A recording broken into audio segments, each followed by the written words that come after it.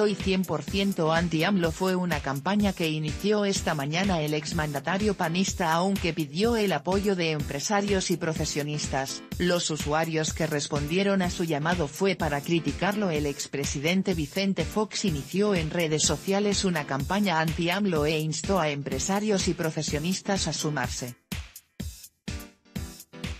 En un tuit con faltas de ortografía, como es costumbre ver en la red social de Fox, pide echarle montón a Andrés Manuel López Obrador, candidato presidencial de Morena. Defendamos lo que creemos. Hablemos con nuestros trabajadores y quienes nos rodean, tuiteó el panista esta mañana junto con una imagen en la que se lee, soy 100% anti-AMLO,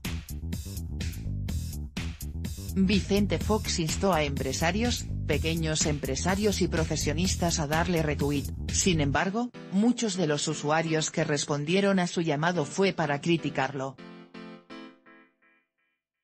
El comentario del exmandatario se suma a la petición que esta semana hizo la cúpula empresarial a sus empleados para no votar por el populismo, haciendo referencial a Andrés Manuel López Obrador.